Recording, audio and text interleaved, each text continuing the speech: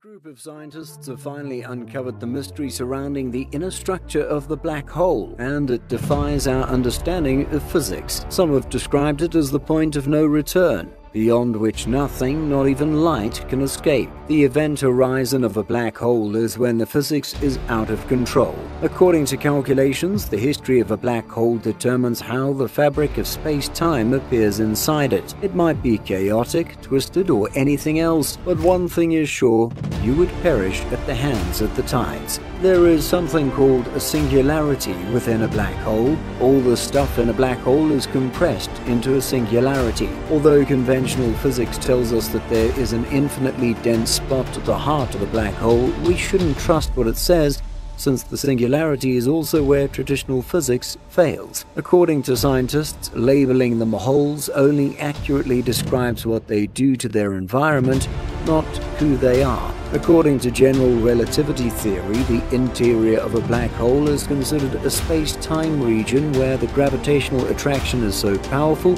that it bends space and time to the point where they become singularities or regions of infinite density and zero volume. This hypothesis states that as matter and energy are drawn into a black hole, they become caught inside the event horizon, boundary beyond which nothing, not even light, can escape. Beyond this, it is thought that matter and energy are squeezed into the singularity, a point at the center of the black hole that is infinitely tiny. However, a new study that confirms that the behavior of matter and energy in this area is not restricted to one interpretation has given the nature of singularity another dimension. Perhaps a more commonplace explanation for the existence of singularities has been proposed by scientists, one based on a subtler and more grounded understanding of black holes. Our knowledge about motionless, non-rotating, uncharged and relatively uninteresting black holes provides the basis for a single point of infinite density. The interiors of rotating black holes are catastrophically unstable, and this is according to the very same maths that leads to the prediction of the traveling to a new universe stuff. The singularity extended into a ring